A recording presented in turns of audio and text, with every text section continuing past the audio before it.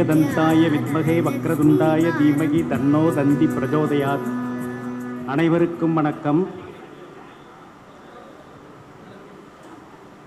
ஆயிரத்தி தொள்ளாயிரத்தி தொண்ணூற்றி ஓராம் ஆண்டு பிப்ரவரி மாதத்திலே அண்ணன் ஓம் உலகநாதன் அவர்களை நான் முதன் முதலாக சந்தித்தேன். பிஜிபி கோல்டன் பீச்சிலே அண்ணாச்சி அவர்கள் வந்து உலகளாவிய அந்த ஜோதிடர் மாநாட்டை தொடங்கியிருந்தாங்க அப்போ. கட்டுரைகள் எல்லாம் கொடுத்து முடித்தாச்சு தம்பி. நீ இப்போ வந்து கடைசி நேரத்தில் உன்னோட கட்டுரையை தரியே அப்படின்னு கேட்டார். இல்லைண்ணே சுக்கரனை பற்றி ஒரே ஒரு கட்டுரை மட்டும் கொடுத்துறேண்ணே அப்படின்னேன் ஏன்னா முடியெல்லாம் தலையில் சுருள் சுருளாக இருக்குது உனக்கு என்ன சுக்கரன் உச்சமா சந்திரன் உச்சமா ரிஷபமா கடகமா அப்படின்னு அண்ணன் கேட்டாங்க. அப்புறம் அப்படியே பேசிட்டு இருக்கும்போது சரி சரி இந்த பையனோட கட்டுரையும் கொஞ்சம் சேர்த்துங்க அப்படின்னு அண்ணன் சொன்னாங்க. அப்படி தான் எங்களுடைய அறிமுகம் வந்து ஆயிரத்தி தொள்ளாயிரத்தி தொண்ணூற்றி ஒன்றுலே பிஜிபி கோல்டன் பீச் அந்த தங்க கடற்கரையில் தான் அண்ணனுடைய அந்த அறிமுகம் எனக்கு கிடைச்சிது. அன்னையிலேருந்து இன்றைய வரைக்கும் தொடர்ந்து ஜோதிடத்துக்காகவும் ஜோதிட உலகத்துக்காகவும் உழைத்து கொண்டிருப்பவர் அருமை அண்ணன் அவர்கள். நாதா உலக நாதா உறங்கிக் கொண்டிருக்கக்கூடிய ஜோதிடத்திற்கு உயிர் சத்து கொடுத்தவன் நீ. ஆமாங்க. உ- உலகத்துக்கே வந்து ஒரு பெரிய உன்னதமான இடம் ஜோதிடத்துக்கு கொடுத்தவங்க அண்ணன் மட்டும்தான். அதே மாதிரி ஜோதிடம் அப்படின்னாலே என்ன? ஜோதிடர்னா என்ன? ஏதோ ஒரு மஞ்சள் பைய தூக்கிக்கிட்டு ஒரு ஓரமாக உட்காந்துருப்பார் அப்படிங்கிறத வந்து உடைச்சவங்க வந்து அண்ணன் உலகநாதன் அண்ணன் அவர்கள் தான் ஜோதிடர்னா கம்பீரமாக இருக்கணுங்க பட்டு சட்டை போட்டுக்கணும். அப்படியே கம்பீரமாக இருக்கணும். காரில் வந்து இறங்கணும். சும்மா நடந்து வந்து கை கட்டிட்டுலாம் நிற்கக்கூடாது அப்படின்னு எந்த ஜோதிடராக இருந்தாலும் ஒரு கம்பீரமாக இருக்கணும் அப்படின்னு சொல்லக்கூடியவங்க அண்ணன். அதே மாதிரி அந்த விஜிபி கோல்டன் பீச்சில் அந்த உலக ஜோதிடர் சங்கத்தில் என்ன சொன்னாங்க தெரியுங்களா? எல்லா ஜோசியரையும் கூப்பிடுங்க அப்படின்னு சொன்னாங்க. எலி ஜோசியம் கிளி ஜோசியம் தேவாங்கு ஜோசியம் சோழி ஜோசியம் பிரசன்ன ஜோசியம் எல்லா ஜோசியத்தையும் நீங்கள் கூப்பிடுங்க அப்படின்னு அண்ணன் சொன்னாங்க. அந்த அந்த பெரிய மனசு இருக்கு இல்லைங்களா? அதாவது தனக்கு கிடைத்த ஒரு பெரிய அங்கீகாரம் சாதாரண தெருமுனையில் சந்து பொந்தில் இருக்கிற ஜோதிடருக்கு கூட கிடைக்கணும் அப்படின்னு சொன்னவங்க அண்ணன் தான். அவங்க இப்போ நான் சொல்கிற அந்த ஆயிரத்தி தொள்ளாயிரத்தி தொண்ணூத்தொன்று தொண்ணூற்றி ரெண்டு தொண்ணூற்றி மூணு காலத்திலலாம் ஒரு ஒரு சிலருக்கு தான் அந்த ஜோதிட ரத்னா அப்படிங்கிற பட்டம்லாம் தருவாங்க. ஆனால் அண்ணன் வந்து எல்லாருக்கும் அந்த பட்டத்தை கொடுங்க.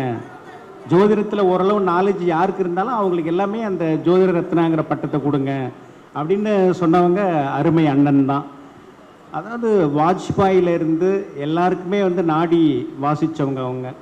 ஆயிரத்தி தொள்ளாயிரத்தி தொண்ணூற்றி ரெண்டில் வந்து நானும் வசந்தன் அண்ணாவும் அண்ணனை பார்க்கறதுக்கு வசந்தன் என்னை கூப்பிட்டு போகிறார் நெல்லை வசந்தன் அழைச்சிட்டு போகிறார் நீ வா அவர் ரொம்ப வித்தியாசமாக சொல்லுவார் அப்படின்னு அழைச்சிட்டு போகிறாரு அண்ணனுக்கு எழுத்தாப்பில் வந்து சந்திரலால் ஜெயின் அப்படின்னு ஒருத்தர் வந்து உட்கார்ந்து நாடி பார்த்துட்டுருக்கார் அப்போது அவருடைய பேக்கெட்டில் இருக்கக்கூடிய ரூபா நோட்டுடைய இலக்கத்தை அண்ணன் சொல்கிறாங்க நாடியில்.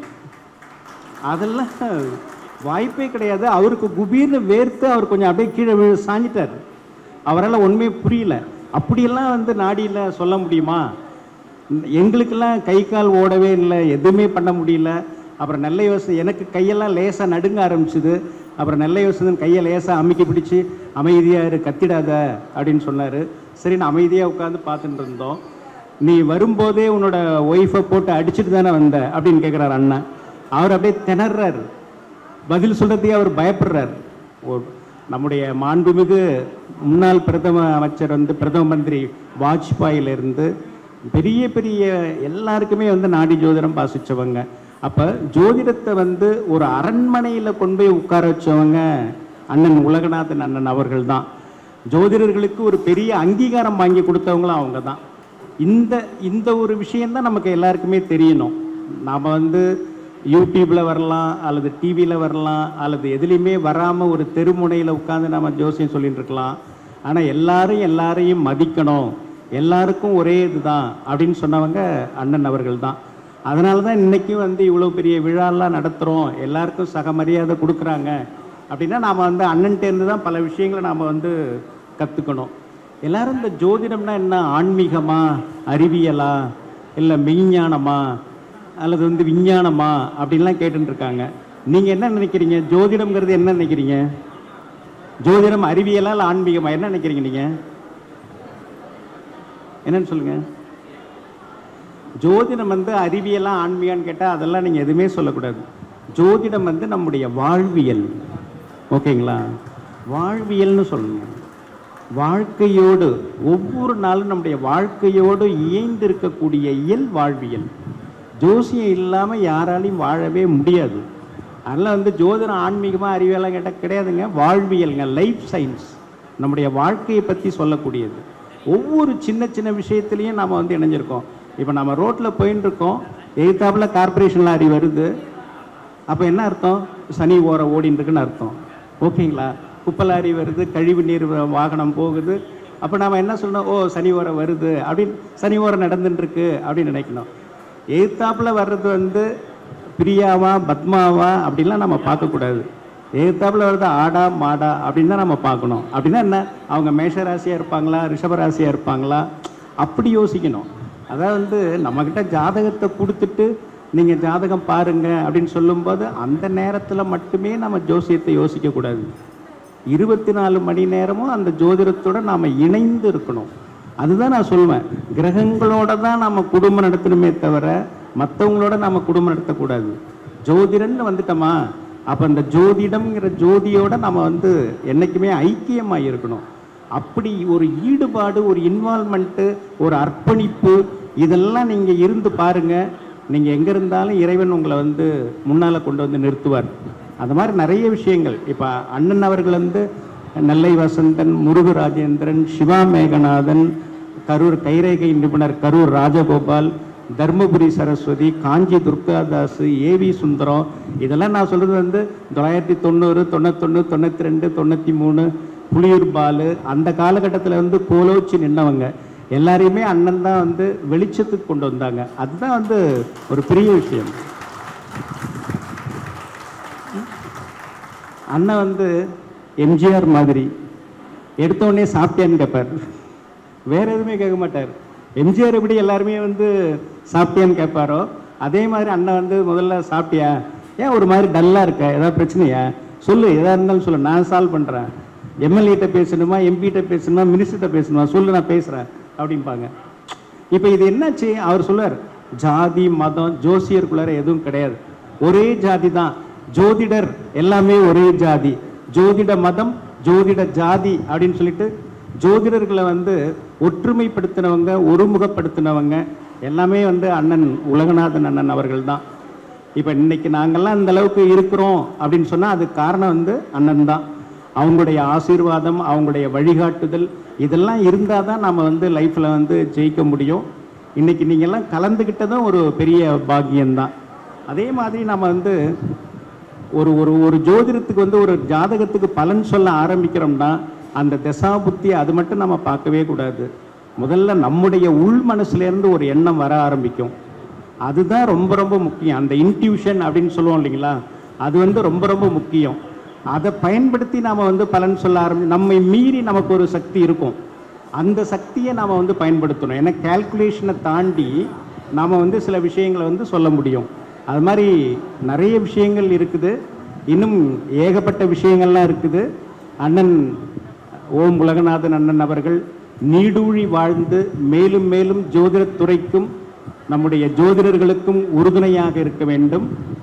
இப்போ ஜோதிடத்துக்குன்னு தனியாக ஒரு பல்கலைக்கழகம் தொடங்குவதற்கு அந்த ஹியூமன் லைஃப் ரிசர்ச் அந்த இவங்களோட நாம் வந்து பேசிகிட்டு இருக்கோம் மத்திய அமைச்சரோட. அதுக்கு வந்து அங்கீகாரமும் சீக்கிரம் கிடைக்கிறதுக்கான வாய்ப்புகள் இருக்குது.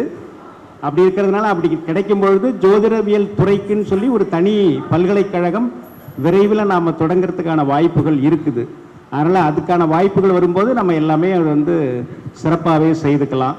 அதனால் ஜோதிடர் அப்படின்னாலே நம்ம வந்து ஒரு கௌரவம் ஒரு கம்பீரம். எப்பொழுதுமே அது இருந்துட்டு இருக்கிறது நமக்கு ரொம்ப ரொம்ப நல்லது.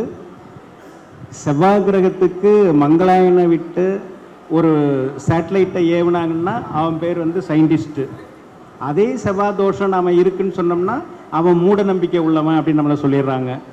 இதுதான் ரெண்டுக்கும் இருக்கிற வித்தியாசம்.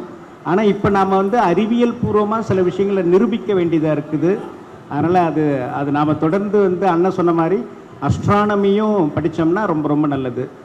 இப்போ கற்பகம் பல்கலைக்கழகத்தில் கிட்டத்தட்ட அறுபத்தி ஆறு ஜோதிடர்கள் ஜோதிட மாணவர்கள் வந்து முனைவர் பட்டம் பெற்றுட்டு தமிழ்நாட்டுக்கு வந்திருக்காங்க. தமிழ்நாடு ஃபுல்லாக இருக்காங்க. அறுபத்தி ஆறு பேர். இப்போ ஒருத்தர் வந்து சப்மிட் பண்ணியிருக்கார் தீசிஸ் அது என்னென்னா டுவெண்ட்டி டுவெண்ட்டி மேட்ச் அதை கிரிக்கெட்டில் அந்த இருபது இருபது மேட்ச் இருக்கு இல்லைங்களா? அதை பற்றி இப்போ அவர் வந்து சப்மிட் பண்ணியிருக்கார். தமிழ்நாடு அரசுக்கு ஒரு சின்ன கோரிக்கை. இப்போ ஒவ்வொரு கோவில்லையும் வந்து ஓதுவார் அதெல்லாம் அவங்க போடுறாங்க. அதே மாதிரி முனைவர் பட்டம் முடித்த ஜோதிடர்களுக்கு இப்போ புகழ்பெற்ற கோவில்களில் ஏதாவது ஒரு போஸ்டிங் கொடுத்து அவங்கள உட்கார வைக்கணும் எங்களுக்கு சம்பளமெல்லாம் ஒன்றுமே தேவையில்லை. எந்த சம்பளமும் தேவையில்லை. நாங்கள் வந்து இறைவனுக்காக பணியாற்ற தயார். அதனால் அது ஒன்று செய்தாங்கன்னா நமக்கு இன்னும் கொஞ்சம் அங்கீகாரம் எல்லாமே கிடைக்கும். அதனால் அண்ணனுடைய தொண்டு மேலும் மேலும் ஓங்க வேண்டும். ஜோதிடர்கள் கையும் மேலும் மேலும் ஓங்க வேண்டும் என்று சொல்லிக்கொண்டு உரைக்கு திரையிடுகிறேன். நன்றி வணக்கம். கடவுள் அருள் டிவியை பார்த்தமைக்கு நன்றிகள். மேலும் இது போன்ற தகவல்களை தெரிந்து கொள்ள கடவுள் அருள் டிவியை சப்ஸ்கிரைப் செய்யுங்கள். மறக்காமல் பெல் ஐக்கானை கிளிக் செய்யுங்கள்.